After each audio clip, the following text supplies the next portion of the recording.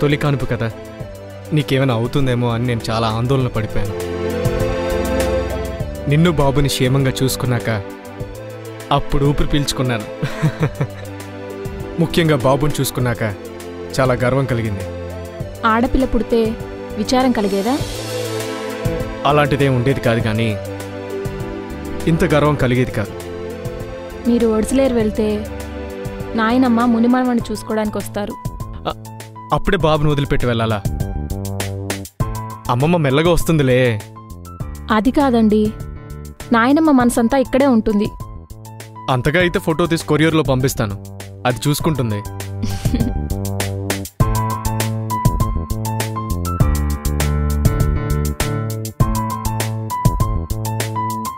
బాబుకేం పేరు పెట్టాలనుకుంటున్నారు? పుట్టిన నక్షత్రాన్ని బట్టా లేక? ఇంకా పేరు గురించి ఆలోచించలేదు అరణ్య చూద్దాం. మావయ్య గారి పేరు పెడితే ఎలా ఉంటుందంటారు? అదేంటండి? మామయ్య గారు మీకు బుచ్చిరెడ్డి పాలెంలో ఆస్తులు ఇచ్చారు ఒడిసిలేరులో అరణ్య.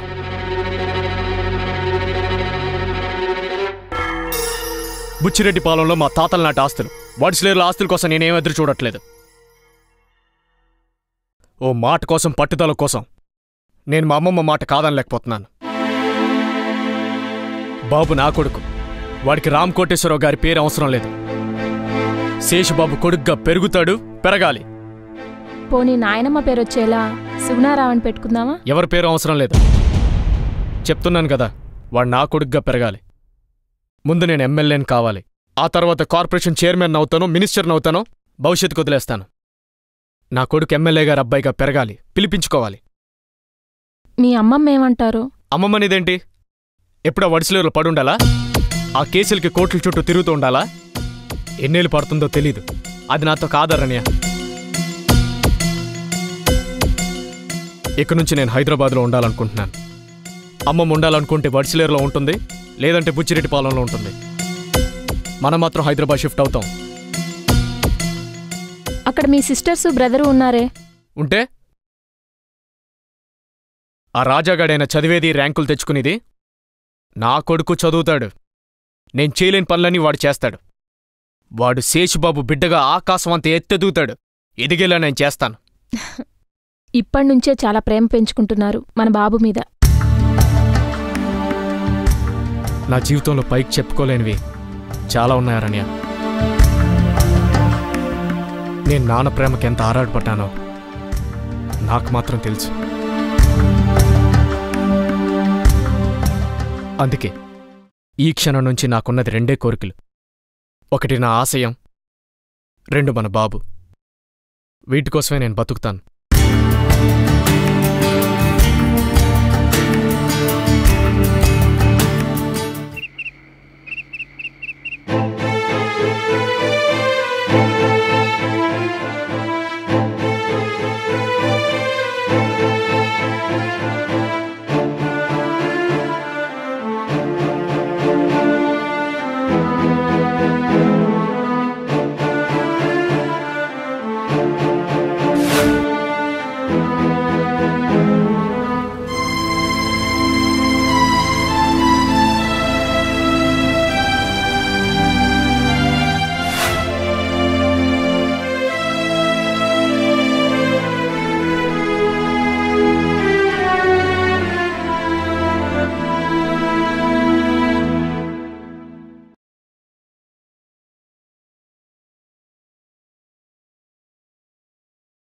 ఏంటి ఆలోచిస్తున్నావు?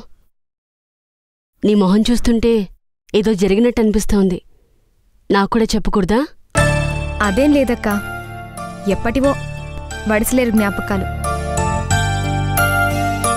ఇప్పటివరకు మన మెస్ అకౌంట్స్ అన్నీ చూశాను. ఖర్చులు పోను పదిహేను వేలు మిగిలాయి. అందులో నీ వాటా ఎంతో చెప్పు. నేను చేసిందేముంది క్రెడిట్ అంతా అమ్మది నీది. కూరగాయలు తెస్తావు. సరుకులు తెస్తావు. కనీసం ఆటో కూడా ఎక్కవు. ఇదంతా నీ వల్ల వచ్చిన లాభమే కదా? నేను సుగుణమ్మ చెంప పగలగొట్టకపోతే ఈ నష్టం వచ్చుండేది కాదుగా? ఇప్పుడు ఆవిడెందుకు గుర్తొచ్చిందే? నువ్వు కొట్టినా కొట్టకపోయినా ఇదే జరిగేది. కాస్త ఆలస్యంగా. తొందరగా ముగించి మహాతల్లి పుణ్యం కట్టుకుందంటావా. ఓ పని చేయవే. సుగుణమ్మ గారి పాపాలు పుణ్యాలు నీ ల్యాప్టాప్లో ఫీడ్ చేసి పెట్టుకో. నేను చిత్రగుప్తురాలనా? ఏంటో?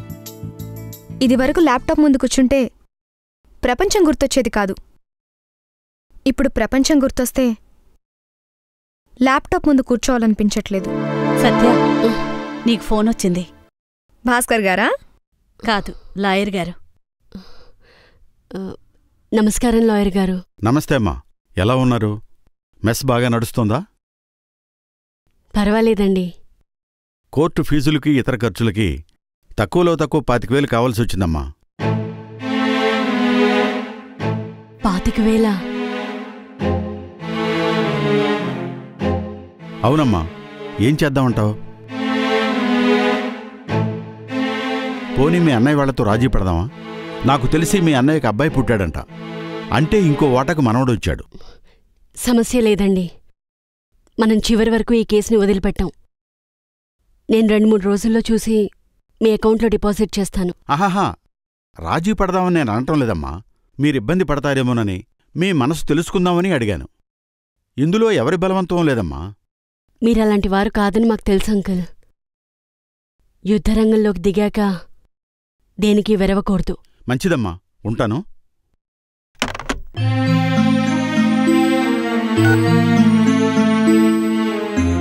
విషయం అర్థమై ఉంటుంది కదా.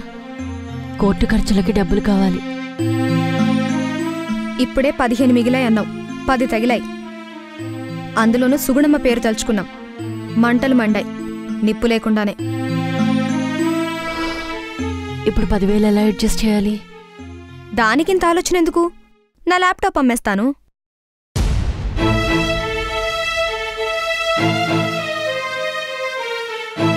అలా అయిపోయావేంటి?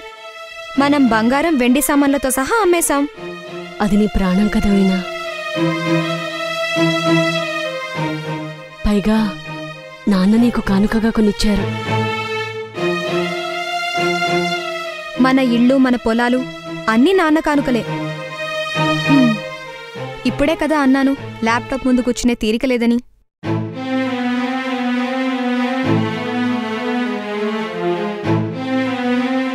వెబ్కామ్ మాత్రం అమ్మన్లే.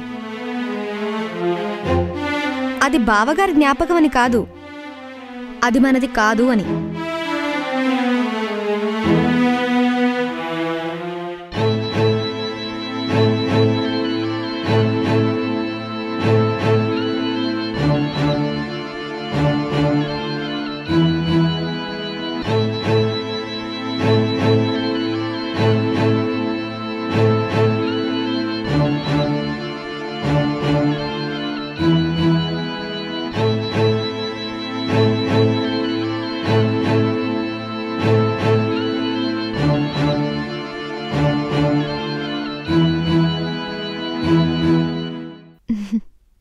Goodbye, my friend.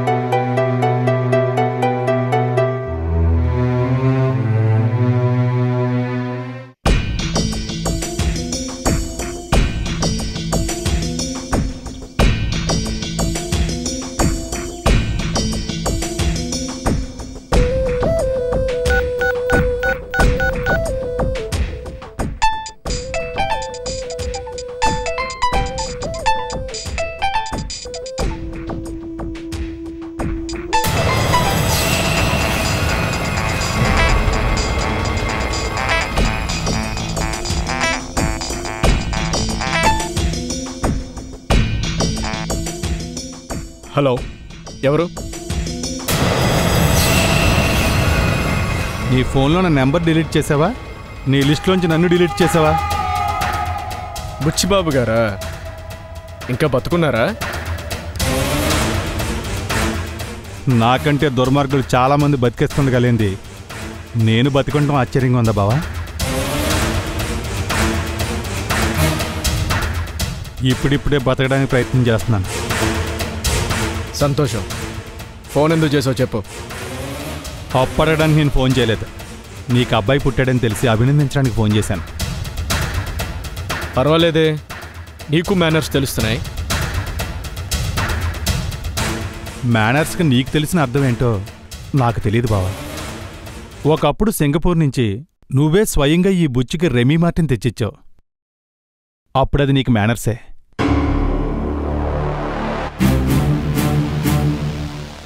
ఇప్పుడు నీకు నేను ఫోన్ చేయడానికి రెండు కారణాలు బావా. ఏంటో అవి? నువ్వు కూడా ఓ బిడ్డకి తండ్రి అయ్యావు ఇప్పటిదాకా కొడుకుగా మనవడిగా భర్తగానే ఉన్నావు. ఓ తండ్రికి కొడుకు మీద ఎంత ప్రేమ ఉంటుందో నా మేనల్లుని చూసుకోగానే నీకు అర్థమై ఉంటుంది. తాగుబోతు మాటలు మాట్లాడొద్దు. చెప్పేదేదో సరిగ్గేడు అక్కడికే వస్తున్నా. నేను పూర్తి స్పృహలో ఉండి మాట్లాడుతున్నాను. అది ముందు నోట్ చేసుకో. పిన్ని చెల్లెళ్ళు తమ్ముడు మెసపెట్టుకుని బతుకుతున్నారు. ఇంకొకసారి అమ్మా అన్నావంటే మాత్రం నీ నాలుగు చీరేస్తాను. నువ్వు చేరాల్సింది నానాలుకను కాదు మీ అమ్మ మరి. బుచ్చి నువ్వు నన్ను తిట్టినా కొట్టినా నేను బాధపడ్నా? నీకా రైట్ ఉంది బావా? నాకంటే నెలలు పెద్దోడివి. కానీ మా నాయనమ్మకు వయసుతో పాటు దుర్మార్గం పెరిగిపోయింది. ఎవరిని సుఖంగా బతకనివ్వట్లేదు. అయిపోయిందా? అవలేదు. నీకు అబ్బాయి పుట్టాడని తెలియగానే అత్తయ్య సత్య వాళ్ళు పొంగిపోయారు. ఓహో! ఇప్పుడు నీ ద్వారా రాజీ పడదామని ఫోన్ చేయించారనమాట నేను పొంగిపోయారని చెప్పాను కానీ రాజీ పడతారని మాత్రం చెప్పలేదు. రాజీ పడేవారు మెస్సలు పెట్టుకోరు. మా మనవణ్ణి చేసుకోండి నా బావుమర్దం చేసుకోండి అని రాయిబారాలు పంపించరు. రాయిబారాలకు వెళ్ళరు రాస్కల్ నీకోసం వెళ్ళండ్రా. అమ్మమ్మ కోసం వెళ్ళండ్రా. అమ్మమ్మ నువ్వు తాగి కొంపక రాకుండా క్లబ్బుల్లో చస్తున్నావని పెళ్ళి చేయమంటూ దేబరిస్తున్నావని నన్ను పంపింది. నేను ఈ పెళ్ళి చేసుకోను అంటే తిట్టింది నువ్వే కదా? నేను మిమ్మల్ని దావా వేయమని చెప్పానా? మావయ్య కుటుంబాన్ని బయటికి పంపించమని చెప్పానా? బావా ఆడపిల్లలు ఉసురు పోసుకోవటం మంచిది కాదు. నువ్వంట్రా నాకు చెప్పేది? నిన్ను చీకొట్టి పంపించిన వాళ్ళ దగ్గరికి వెళ్ళడానికి నీకు చీవులు ఎత్తురులేవు దూరంగా ఉన్నావు కాబట్టి బతికిపోయావు. ఫోన్ పెట్టే. ఏంటి బావ రెచ్చిపోతున్నావు? సుగుణమ్మ నాకు నాయనమ్మ. నీకు అమ్మమ్మ. ఎవరికి దగ్గర? కొడుకు కొడుకు వేరు కూతురు కొడుకు వేరు. కూతురు కొడుకు ఎప్పుడు బయటపడే నీకు దిక్కు లేక మా దగ్గర పెరిగావు. నేను నోరు తెరిస్తే చాలా మాట్లాడగలను. నువ్వు భరించలేవు. నువ్వు ఎప్పటికైనా సుగుణమ్మ పిడికెల నుంచి బయటపడితే మంచిది. లేదంటే నిన్ను నీ కొడుకును కూడా విడదీయగలదు. ఇప్పుడు ఫోన్ కట్ చేస్తున్నాను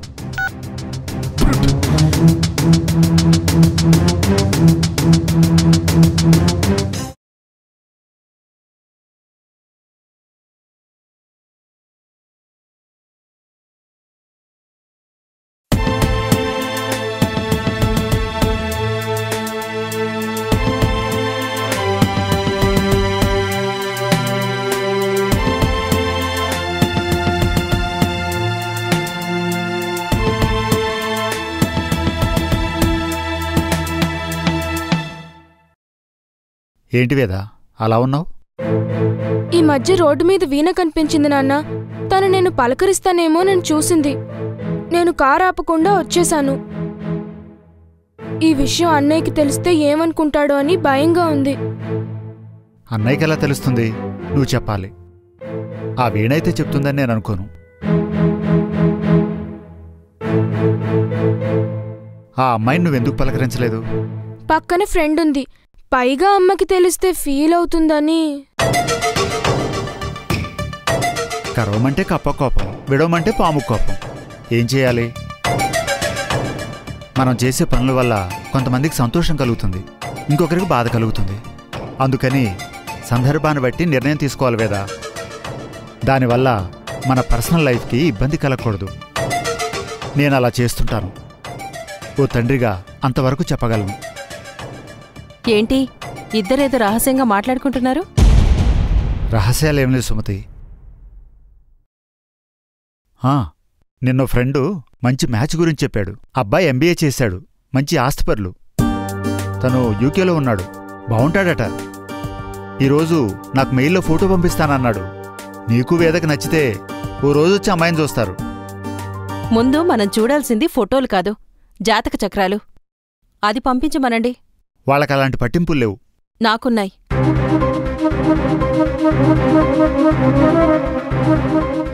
ఇప్పటికే ఓ తప్పు చేశాం. భాస్కర్ సూడన్ వెళ్ళేలోగా పెళ్ళి చేయాలనుకున్నాం. ఆ తొందరలో ప్రేమించానన్నాడని ఏ విషయాలు పట్టించుకోలేదు. అందుకు ఫలితం ఇప్పుడు అనుభవిస్తున్నాం కదా.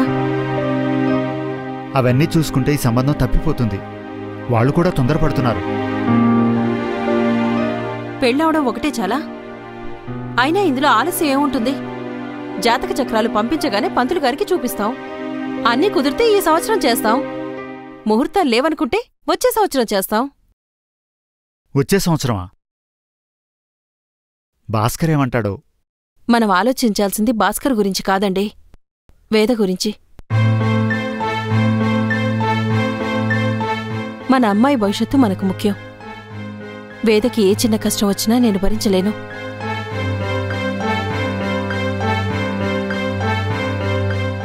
ఏమంటావు వేదా? మీరిద్దరూ ఏం చెప్తే చేస్తాను. నా మంచి గురించే కదా మీరేం చేసినా.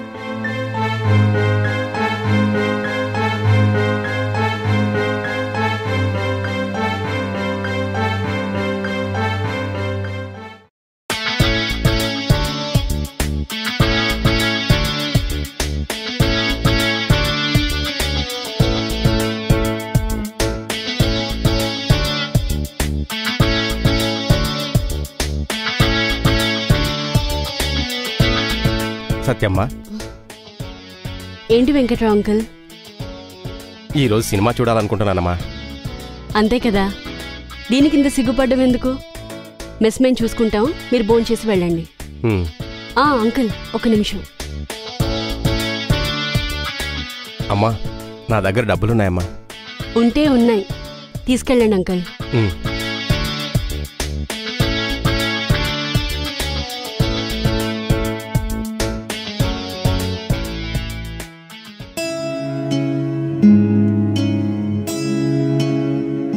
ఏంటి? వెంకట్రావు అంకుల్తో నువ్వు సినిమాకి వెళ్తావా? కాదక్కా. టర్మ్ ఫీజు కట్టాలి. పదిహేను వేలు.